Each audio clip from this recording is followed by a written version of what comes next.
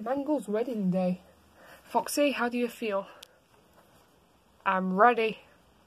For the marriage, not for the divorce. he thinks he's gonna get a divorce.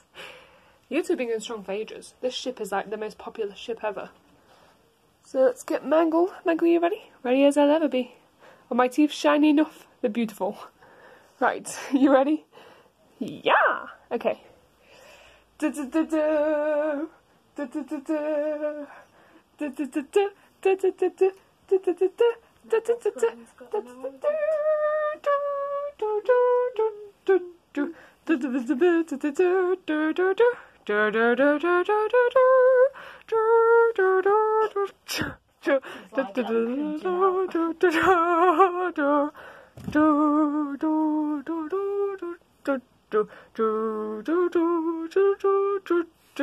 Yeah, I'm stopping now.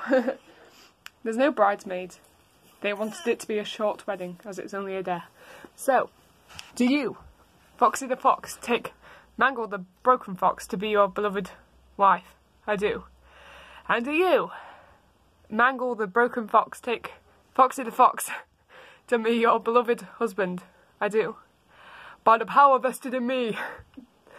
by the power vested in me, Freddy and the whole pizzeria.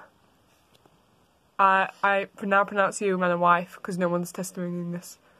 Does anyone want to disagree with this? There's no other pushers in the room. No. Okay. So that means you don't want them to get married, you know, Mangle.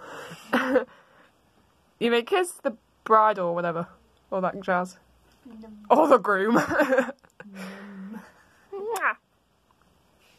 yeah, woo, confetti.